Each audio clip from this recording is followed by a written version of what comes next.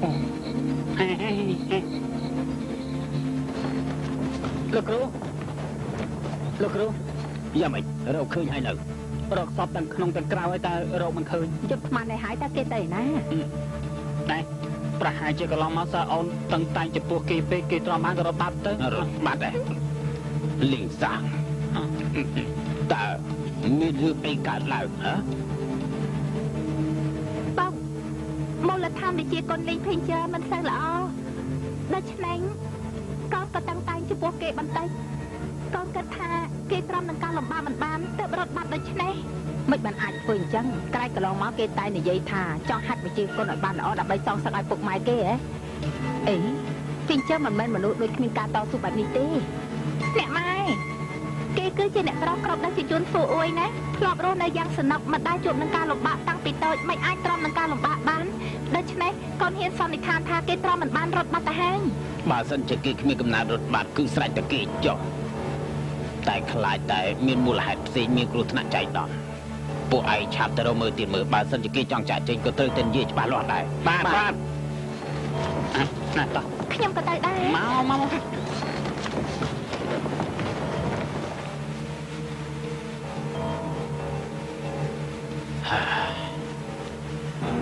មក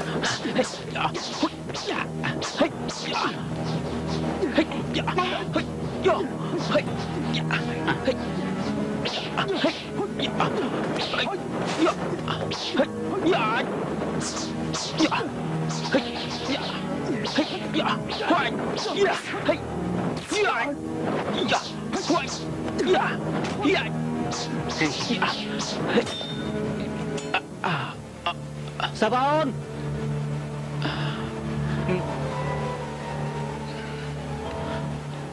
លោកគ្រូលោកគ្រូមកវិញហើយមកវិញហើយមកវិញហើយភីងជើលោកគ្រូតើឯងទៅណាអោះអ่าការពិតសិស្សអូនលីងទៅហាត់ដាវនៅឯព្រៃខាងក្រោយភ្នំខ្ញុំស្មានតែគេរត់បាត់ហើយហេហេហាត់ដាវលោកគ្រូ វិជាគុណខ្ញុំល្អខ្ញុំត្រូវតែឧស្សាហ៍ហាត់បន្តិចតែខ្លាចរំខានដល់សិស្សបងប្អូនសម្រាប់ដូច្នេះទើបរត់ទៅហាត់ដាវនៅខាងក្រៅភ្នំតែម្នាក់ឯងក្មេងនេះគួរតែបង្ហាត់មែនស្មារតីរៀនសូត្ររបស់ភីងជើអ្នកទាំងអស់គ្នាគួរតែទុកជាគំរូណាខំរៀនទៅសំអាងទៅលើឆន្ទៈនិងចិត្តខ្ជាប់ខ្លួនឯងប្រកាសជាអាចរកយុទ្ធធម៌ឪពុកម្ដាយឯងជាមិនខានអិយ៉ាងម៉េចដឹង ដោះឲ្យចេញមកឆាប់ដោះភ្លាមមិនបានជារបួសធ្ងន់ដល់ម្លឹងលេងចាងគឺកូនបាយឲ្យភីងជើរបួសបែបនេះមែនទេពុកឲ្យកូនបង្ហាត់វិជាគុណគេមិនមែនឲ្យកូនធ្វើបាបគេទេកូនអាងខ្លួនឯងជាសិស្សបងហើយជាកូនស្រីពុកអាចធ្វើបាបគេទៅផ្ដាស់អញ្ចឹងហ៎ចំជាហួសហេតុពេកហើយតែយើងយកដំបងមកអ่าអ่าបង ខ្ញុំលោកគ្រូសូមលោកគ្រូកុំបន្ទោសសិស្សច្បងអីគឺខ្ញុំឲ្យគាត់ធ្វើដូច្នេះឯងកុំខ្លាចនិយាយប្រាប់គ្រូត្រង់ត្រង់មកតើរឿងនេះវាយ៉ាងម៉េចដែរហ៎មិនមិនខ្ញុំបាននិយាយហើយវិជាគុណខ្ញុំមិនល្អតែអន្ទះសារចង់រៀនឲ្យឆាប់ចេះដូច្នេះខ្ញុំវល់សិស្សច្បងឲ្យតាំងតែងចំពោះខ្ញុំសុកចិត្តរងទុកបន្តិចសូមលោកគ្រូកុំបន្ទោសសិស្សច្បងច្រឡំអីពិតមែនដែរពិតមែន អ្នកណាប្រើខ្ញុំគ្មានបានការពេលដែលសាកល្បងវិជាគុណជាមួយនឹងសិស្សច្បងតែងតែរញ៉េរញ៉ៃគិតខាងមុខភ្លេចខាងក្រោយដូច្នេះត្រូវសិស្សច្បងវាយម្ដងម្កាលពិតជាសមមកហើយកូនទើបតែហាត់គុណលើកដំបូងហ៎មិនក៏មិនចេះបន្ធូរដៃសោះលោកគ្រូគឺខ្ញុំប្រាប់សិស្សច្បងថាមិនបាច់បន្ធូរដៃបានសិនជាគាត់ចេះតែបន្ធូរដៃមិនឲ្យតាមខ្ញុំខ្លាចក្រែងតែចំណាយពេលវេលាកាន់តែច្រើនរៀនងាយចេះភីងជើឯងមិនខ្លាចឈឺទេហ៎ខ្ញុំមិនខ្លាចឈឺទេ ទោះជាឈឺលឿននេះ10ដង100ដងក៏ខ្ញុំសុខចិត្តដែរបើសិនជាការឈឺចាប់ដល់តូចនេះក៏ខ្ញុំទ្រាំមិនបានមិនខ្ញុំអាចសងសឹកគំនុំឈាមបានហើយមើលទៅលីងសាងមិនសមបង្ហាត់ភីងជើទេខ្ញុំគិតថាឲ្យទៅនួបង្ហាត់ឯងវិញទេលោកគ្រូក្តីស្រឡាញ់របស់សិស្សច្បងចំពោះខ្ញុំอะខ្ញុំមិនឲ្យនាងខកបំណងទេគាត់កាន់តែតឹងតែចំពោះខ្ញុំខ្ញុំរៀនកាន់តែឆាប់ចេះ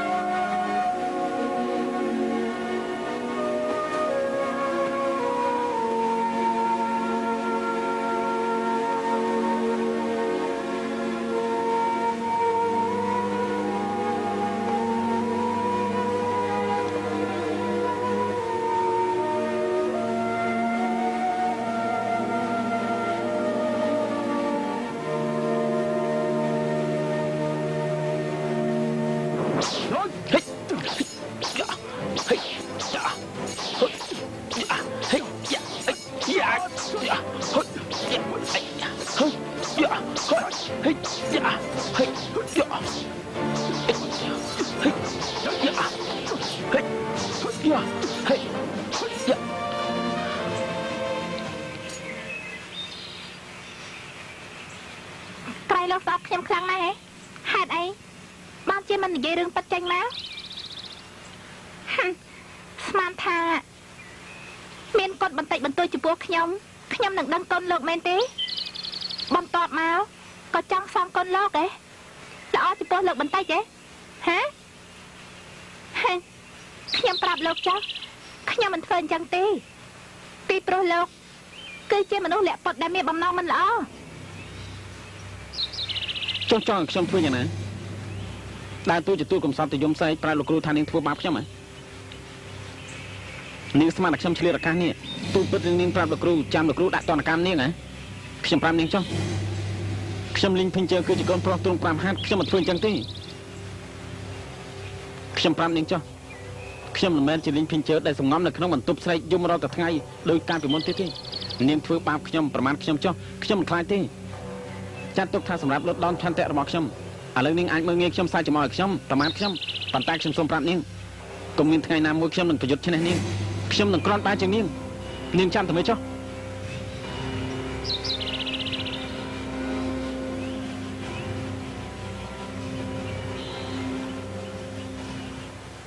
ទេពធីតាអ្នកដែលគួរឲ្យសង្ស័យទាំងប៉ុន្មានខ្ញុំបានវាយសួរចម្លើយអស់ហើយប៉ុន្តែនៅតែគ្មានតម្រុយអីសោះតើធ្វើយ៉ាងណាទៅ ការពិតនៅក្នុងចិត្តខ្ញុំ គឺបានសង្ស័យមនុស្សម្នាក់អ្នកណានឹង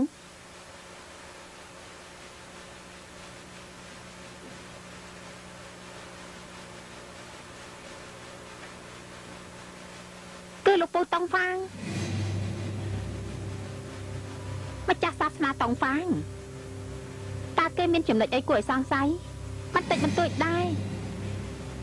នាងមិនយល់ថាក្នុងបរិបទយើងគាត់ឡើងបន្តាក់ឆាប់រហ័សទេអាចនិយាយថាមានភាពអស្ចារ្យតើគាត់មានប្រវត្តិយ៉ាងណាទៅ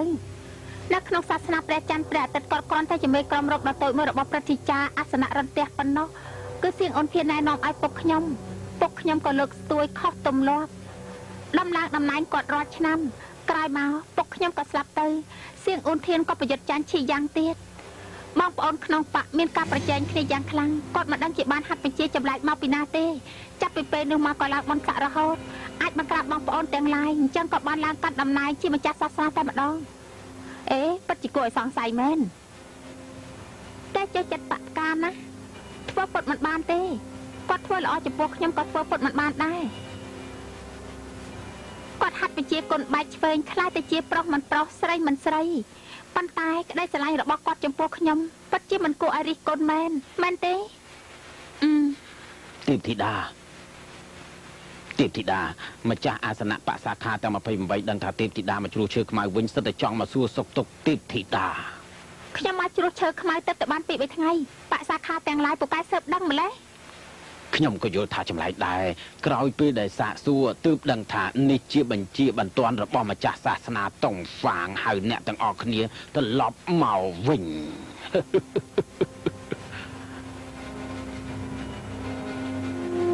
ម្ចាស់សាសនាតុងហ្វាងមានចំណេះចេះគុណឆ្លៀសវៃសប្បុរសពង្រីកសាសនាជួយដល់សត្វលោកគ្រប់គ្រងពិភពគុណជារៀងរៀងរហូតទៅ